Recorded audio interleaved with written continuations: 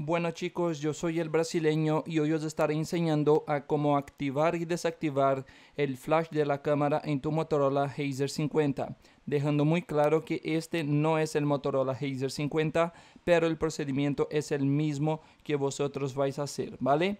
Primero vamos a abrir aquí la cámara del celular, abriendo la cámara, ¿de acuerdo? Eh, aquí tenemos este pequeño rayo con la letra A, significa que es el flash automático.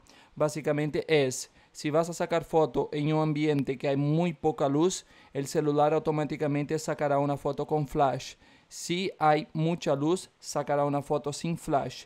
Entonces por eso sería el flash automático. Si le damos otra vez clic, sería el flash siempre activo, da igual la luz que tenga en el ambiente. Cuando saque la foto, sacará la foto con flash.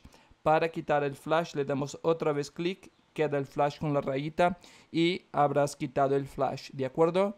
Pues ya estaría chicos, si te ayudé no olvides suscribirte, poner tu me gusta al video y dejar tu comentario. Un saludo a todos, chao chao y nos vemos en el próximo video.